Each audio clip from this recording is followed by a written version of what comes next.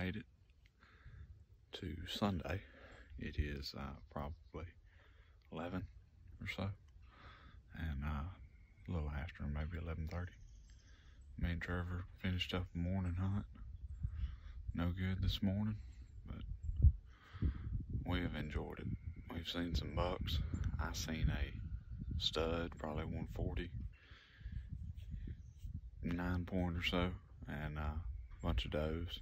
Could shot a doe. Um, could shot a six point, big six. But overall, it's just been a good weekend of bow hunting.